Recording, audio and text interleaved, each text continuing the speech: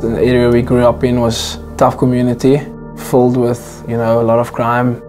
It wasn't always perfect and it wasn't always nice, but uh, my parents did the best that they could.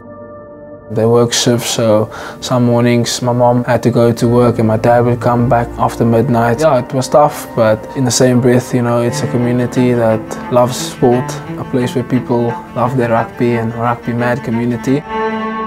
For me, I was lucky enough to be involved with a team and people who love rugby and sport. Played Craven Week for Western Province um, under 12 and under 13. I was lucky enough to get a sports scholarship to attend Paul Roos and I think that's probably where it took off for me. I knew it was possible, you know, just working hard and keeping your shoulder to the wheel. After my first season um, playing professional, my brother and I, who at the time also played professional, at the end of the year we were able to purchase our parents uh, their first home. That was a special moment for me and my brother.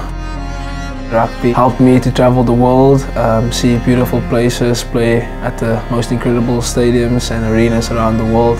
I think um, you know having that first step um, of playing professional um, definitely changed my life and changed my family's life. I'm Damian Willemse and this is how rugby changed my life.